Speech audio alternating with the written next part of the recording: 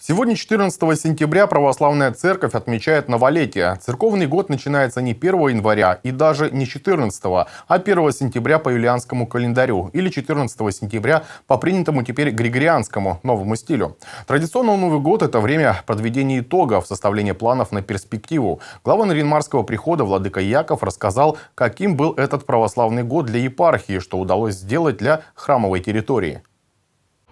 Богоявленский кафедральный собор – своеобразная визитная карточка города. Каждый год духовенство и прихожане благоустраивают храмовую территорию. Появляются новые памятные знаки, беседки и даже уникальные для севера растения. Так, в конце августа рядом с памятником Иоанну Третьему по инициативе владыки Якова был установлен мемориал в честь пятилетия освящения Северного морского пути и 90-летия вхождения земли Франца Иосифа в состав нашего государства.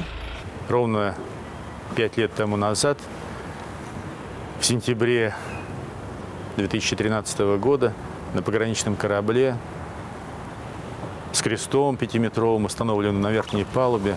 Мы шли через все арктические моря русской Арктики, освещая этот вожделенный для многих, но русский арктический путь на Дальний Восток, ведший в Русскую Америку тогда и на Дальний Восток, Теперь об этом событии напоминает флагшток с тремя флагами пограничной службы России, патриаршего проекта и военно-морской Андреевский. Черная мраморная глыба, найденная в тундре и корабельный якорь. Сейчас по всей территории храмового участка идут работы, тянут кабель, чтобы смонтировать современную подсветку для самого собора и объектов, расположенных рядом. Например, стелы часовни. Ее осветили в пасхальные дни. По всем четырем сторонам ее будут установлены памятные доски. Две уже есть, третья находится в стадии производства. Кроме того, начато строительство водосвятной часовни в честь святителя Николая Покровителя Русского Севера.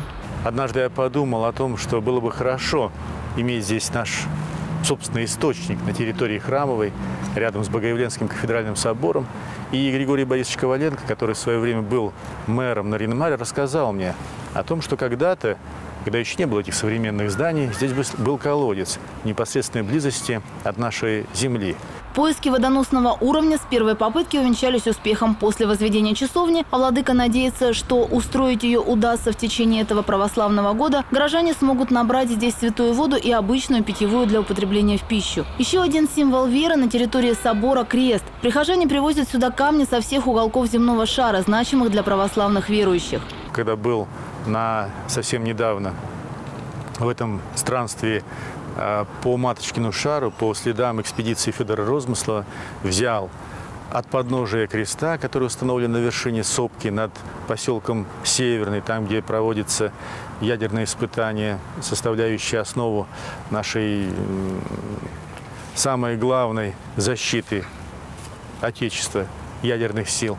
Я взял белый камешек, от подножия креста принес э, сюда. На завершающей стадии строительства церковный терем. Сюда переедет свечная лавка. Ну а что касается нового православного года, его также принято отмечать в кругу семьи. В отличие от традиционного Нового года, который выпадает на самый разгар поста, в новолетие не накладываются запреты на праздничный стол. В этот день вы можете побаловать себя и своих близких самыми лучшими угощениями. Ольга Русул, Вадим Носкин, телеканал «Север».